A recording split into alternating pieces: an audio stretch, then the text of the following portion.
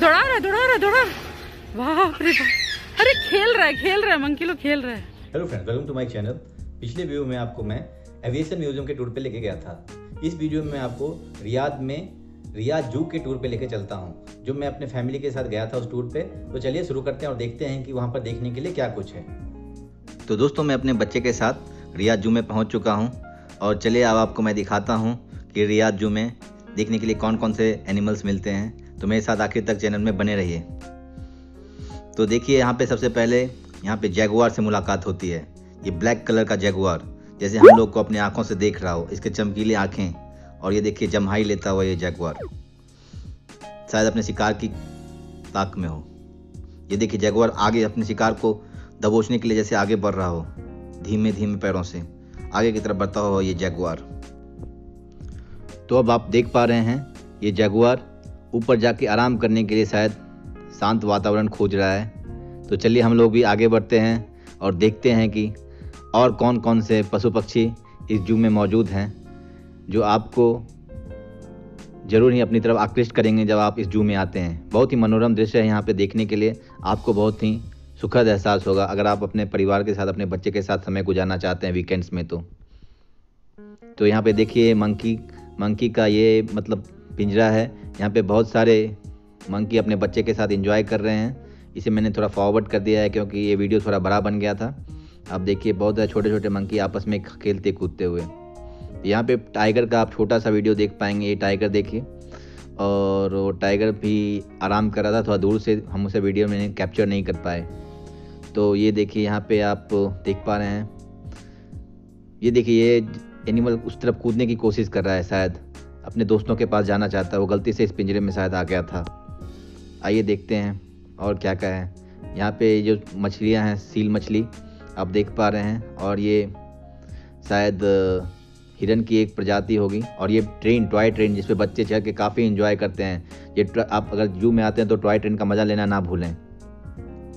और ये छोटे छोटे पशु पक्षी बहुत वैरायटी वैरायटी के पशु पक्षी आपको जू में देखने के लिए मिलेंगे। और ये तो है एलिफेंट। एलिफेंट तो सबसे बड़ा आकर्षक, आकर्षण का केंद्र, ये दोनों आपस में क्यों लड़ाई कर रहे हैं? अच्छा ये जेबरा आपके सामने आ गया, आप जेबरा को तो जानते ही हैं। जेबरा भी यहाँ पे आपको देखने के लिए मिलेगा। और साथ ही साथ, ये छोटे छोटे और भी बहुत वैरायटी वैरायटी के पशु पक्षी, जिनका शायद मैं नाम भी नहीं जानता हूँ, बहुत सारे पशु पक्षी आपको यहाँ पे इस जू में देखने के लिए मिलेंगे। और हम दोनों आगे बढ़ते हुए, अब जिराफ के पास आ गए हम लोग। तो ये देखिए, बहुत सारे जिराफ हैं यहाँ पर। वो शायद अपने खान, अपने बारे से बाहर खाने की कोशिश कर रहे हैं हरे हरे पेड़ पौधों की पत्तियों को, अपने लंबे गले का फ़ायदा उठाकर। सबसे बड़ी खासियत होती है जिराफ की, क्योंकि ऊंचाई के पेड़ के पत्तों को आसानी से अपनी लंबाई का फ़ायदा उठाते हुए खाना खा सकते हैं। और ये सुंदरता का जब वर्णन आता है तो यहाँ पे छोटे छोटे फूलों को क्यारी, क्यारियों में लगाया गया है, जो बहुत ही आकर्षक दिखाई दे रहे हैं। ये तो शुतुरमुख को आप जानते ही होंगे शुतुरमुख की कई कहानियाँ आपने सुनी होंगी। चलिए हम लोग आगे बढ़ते हैं। और देखते हैं और क्या क्या है देखने के लिए। ये देखिए, शायद ये भेड़ की एक प्रजाति है, मुझे ऐसा लगता है। आपस में लड़ाई कर रहे हैं। और ये ऊँट, ये ऐसा ऊँट मैंने अपनी ज़िंदगी में पहले कभी नहीं देखा था। ये नहायत ही बहुत ही अच्छे क्वालिटी का उम्दा किस्म का ऊँट, जो कि देखने से ही अति आकर्षक महसूस होता है। जब आप जाएँगे तो इसे ज़रूर देखें। ये एक, ये दोनों अभी, ये लोग अभी अपनी भोजन का आनंद उठा रहे हैं।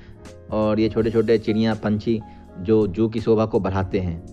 चलिए हम लोग आगे बढ़ते हैं। मैं और अपने परिवार के साथ मैंने इस ट्रिप को काफ़ी इन्जॉय किया। आप कम से कम पाँच छः घंटे लेके चलें, अगर आप पूरे अच्छी तरह से इन्जॉय करना चाहते हैं जू में तो।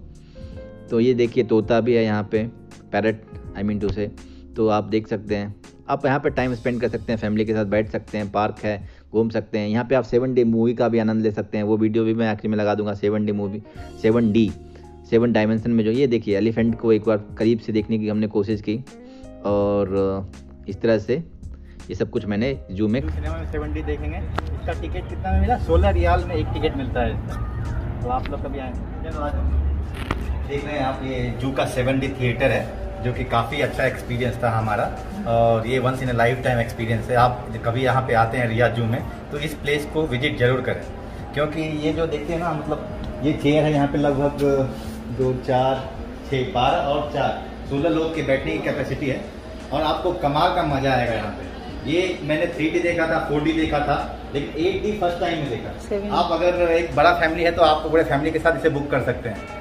ये कमाल का मतलब इसमें एक रोलर कोस्टर राइड का फीलिंग आपको आता है।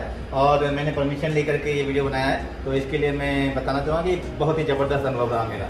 तो मेरे वीडियो को देखने के लिए धन्यवाद। अगर आप रियाद जू आते हैं तो इस प्लेस को विज़िट करना ना भूलें। यहाँ पे इसका टिकट कटा सकते हैं। इसका दाम सोलह रियाल है जो कि लगभग तीन सौ बीस रुपये इंडियन रुपीज़ में आएगा आपको। तो ये काफ़ी मतलब काफ़ी रियायती दाम में मिलता है। यहाँ के हिसाब से ये काफ़ी सस्ता है। तो यहाँ पे ज़रूर आके इसका ये जो आप रोलर कोस्टर राइड देख रहे हैं, इसमें चेयर हिलने लगती है, हवा आता है लाइटिंग आती है, पानी के फुहारे आते हैं तो गजब का मज़ा आता है।